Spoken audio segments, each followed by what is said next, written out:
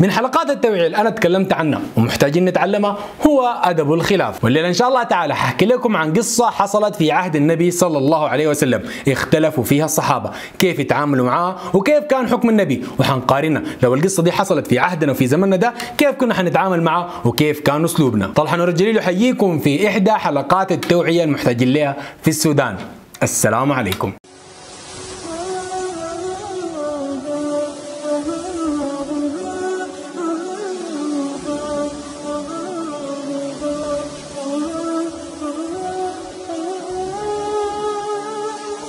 والقصة حصلت في السنة الثامنة عشر لبعثة النبي صلى الله عليه وسلم يعني في السنة الخامسة للهجرة. وبالتحديد القصة حصلت في غزوة الأحزاب حينما تحزبت قريش والأعراب لقتال النبي صلى الله عليه وسلم في المدينة المنورة. وقبل أن يصل الأحزاب إلى المدينة تعاهد النبي صلى الله عليه وسلم مع يهود بني قريظة لحماية المدينة من الخلف فتعاهدوا على ذلك ووضعوا العهود والمواثيق ألا ينقضوا هذا العهد وأن يحموا ظهر المدينة. فحفر النبي وصحابته الخندق فكان حاجزا من الأحزاب لدخول المدينة. لكن اليهود خانوا العهود ونقضوا المواثيق وتحالفوا مع المشركين. هنا ابتلي المؤمنون وزلزلوا زلزالا شديدا. والأكثر من كده إنه كان في انسحاب من المنافقين وبعض المتخاذلين للنبي صلى الله عليه وسلم. والصحابة كانوا ثابتين مع النبي ثبات الجبال. ويصف الله تعالى هذا المشهد في القرآن.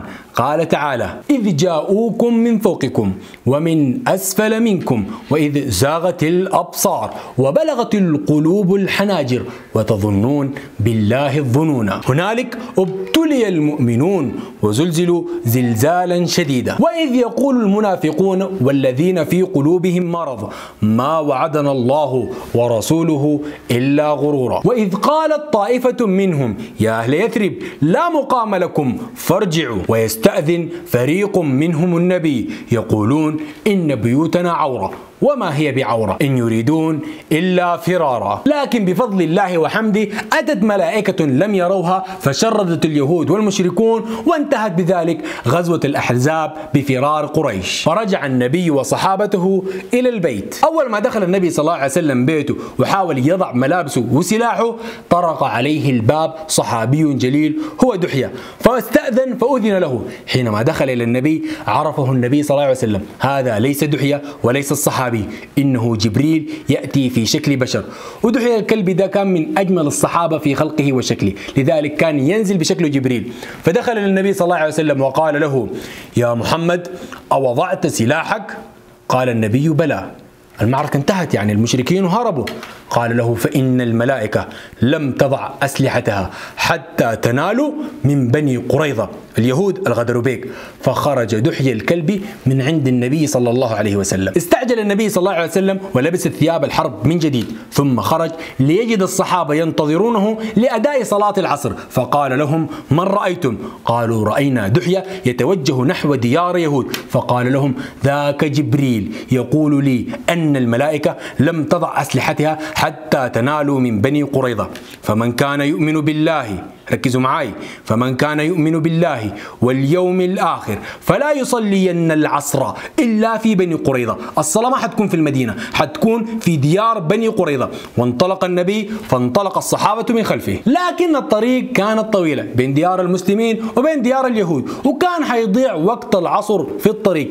هنا اختلف الصحابة بين إنه نصلي العصر في الطريق وبين انه نصلي العصر بعد ما نصل ديار بني قريظة. الفريق الأول من الصحابة قال أمرنا رسول الله أن نصلي في بني قريظة يعني نصلي في بني قريظة. تطبيق بالضبط. إن شاء الله نصلي العصر مع صلاة المغرب ولا مع صلاة العشاء ذاته. بينما الفريق الثاني قال أمرنا رسول الله أن نصلي العصر في ديار بني قريظة نسبة للاستعجال. ونحن مستعجلين الحمد لله وما قصرنا. وصلاة العصر على وقتها أهم وأبلغ. فصلوا العصر في الطريق ثم ذهبوا نحو ديار بني قريظة. لكن الفريق الأول كان متمسك برأيه وقال نحن حنطبق التعاليم النبي بالحرف. حنصلي في ديار بني قريظة نصلي في ديار بني قريظة. وفعلا صلوا العصر بعد أن وصلوا إلى ديار بني قريظة وكان وقت العصر قد انتهى وانقضى. وبكل بساطة ده الخلاف اللي كان في عهد الصحابة. لكن كان يقيم بين أظهرهم رجل لا ينطق عن الهوى إن هو إلا وحي يوحى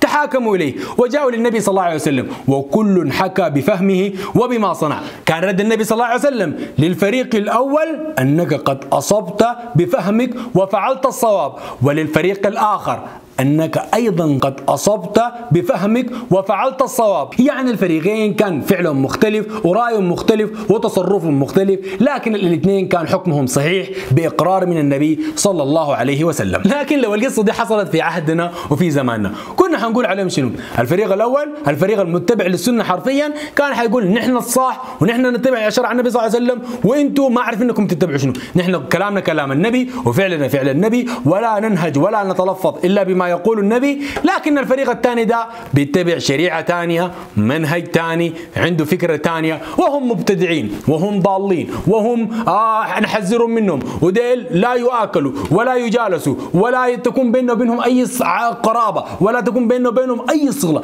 قمة في الفظاظة وقمة في المخالفة. أي زول أنت بتخالفه معناته هو ضد رأيك معناته تكون مسألة وحرب شخصية وكأنما نحن شعب وهم شعب. لكن أنا في فهمي وقناعتي الشخصية دام إنه هو مسلم أكيد هو بيتبع منهج النبي صلى الله عليه وسلم وهو يتحرى الحق. لكن عنده فهم مختلف لفهمي. فإما هو صواب وأنا خطأ أو أنا خطأ وهو صواب. أو ممكن نكون الاثنين على صواب والإثنين فعلا صحيح وفعلا حق. لكن بعد ذاك نسأل الله عز وجل أن يرينا الحق حقا ويرزقنا اتباعه. لكن الشخص المخالف لي إذا ما قبل رايي وما قبل منهجي وما قبل فكرتي ولو فكرته ولو منهجه ولو طريقته ولو يتبين له الحق الصحيح الطريق الواضح بالتأكيد واقتنع به أكيد حيكون هو أول السباقين له وأول الملتزمين بهذا الطريق. لكن من حكمة ربنا جعل لكل شخص فهم وعقل يختلف ويمتاز به عن الآخر. ممكن يؤديه إلى الفكرة الصواب وممكن يوريه للطريق الغلط وممكن كلنا نمشي للطريق الصواب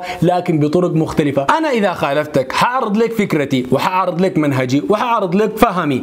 إذا أنت قبلته كان بها ما قبلته ححاول أعرض لك بعض الأدلة من القرآن والأحاديث وأفعال السابقين والعلماء وأصحاب المناهج ونطرحها فيما بعض. هو كذلك حيعرض لي برضه كأنه هو الفكر الصحيح. وأنا متأكد في قرارة نفسي أنه هو يبحث عن الحق وأنا أبحث عن الحق. لكن اختلفت رؤانا وأفكارنا. فإذا أنا قبلته ومشيت برأيه الحمد لله بعد ما يكون الحق يتبين لي أنه هو عنده. أو الحق يتبين له أنه عندي وفي فهمي ويصير في منهجي. لكن إذا هو ما اختلف معي وما قبل برأيي وأنا ما قبلت برأيه فإنك لست عليهم بمسيطر وما أنت عليهم بجبار وإنك لا تهدي من أحببت. ولو كنت فظا غليظ القلب لانفضوا من حولك.